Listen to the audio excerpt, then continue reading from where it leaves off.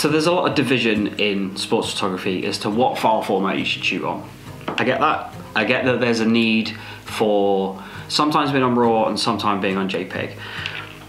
Cards out on the table, the way I do it is very simple. If it's live action sports and there's quick turnover, it's JPEG. If it is um, like commercial stuff, in studio portraiture work with clients and brands and athletes and stuff, it's shot in RAW so that I've got time to control stuff and all those kind of things.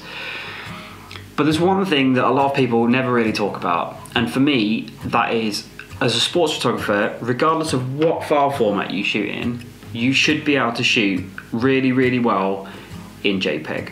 And the reason I say that's really simple, right? It's because as a sports photographer, you should be able to capture that moment that's happening regardless of what it is, whether it's a race, whether it's a match, whatever it is, whatever your sport is, you should be able to capture that moment in just the right way at just the right moment so that it looks amazing. Now, I get that there's an awful lot of like digital manipulation and stuff, and there's some really, really cool Photoshop artists out there, and I think that's great. But when it comes to sports, that doesn't happen very often, especially when we're talking about live action. So as much as you want to shoot in RAW or as much as you want to shoot in JPEG, like shooting in JPEG really like teaches you some really important skills. It teaches you to get your exposures bang on. And that doesn't mean that everything's nicely evenly exposed. That means that you're underexposing or overexposing depending on the photo that you want to create. Is about you creating a piece of work, creating a, an image, a little piece of art on your camera without any other tools whatsoever.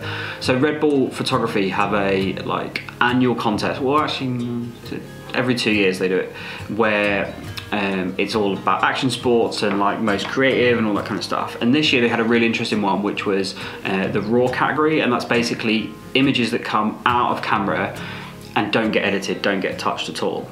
And you should kind of, as a sports photographer, be aspiring to that. You should be, in my mind, aspiring to create like the perfect photo on your camera without any editing whatsoever because you're thinking about light, you're thinking about composition, you're thinking about direction of athlete travel, you're thinking about like how it's going to look on the end of it, you're thinking about colors, you've already dialed your profiles in to make sure they're absolutely spot on.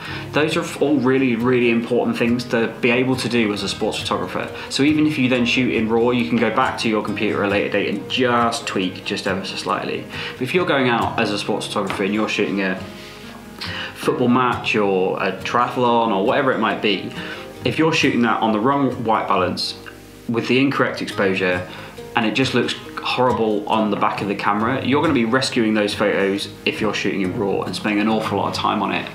And that's not a great skill to have. A great skill to have in sports photography is that ability to capture that moment on the back of the camera and go, that's the one that's the one that I don't need to edit, that's the one that I don't need to mess about with, that's the one that I can literally put out into the world straight away.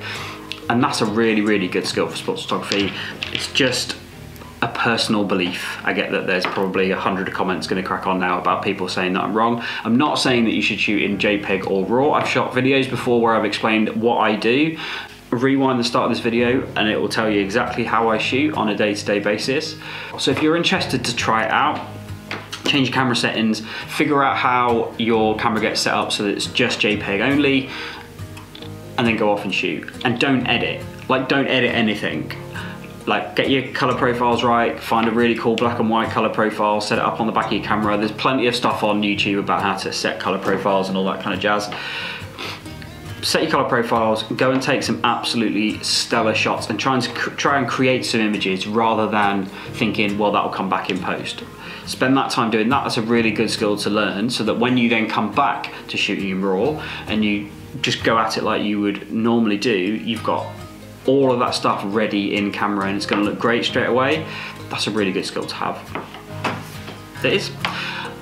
If you haven't already, hit subscribe, hit the bell, hit like, do whatever you need to do. I really, really appreciate all the comments and subscriptions and stuff I've been getting lately. It's everything's on the up and up. It's very nice to have such a cool community here. So if you haven't already, hit subscribe. I do really, really appreciate it. Give me a follow on Instagram give me a follow on Instagram um, as well. I do an awful lot of my stuff on Instagram. Um, I do more there than I would say anywhere else. It's kind of the social media platform for me.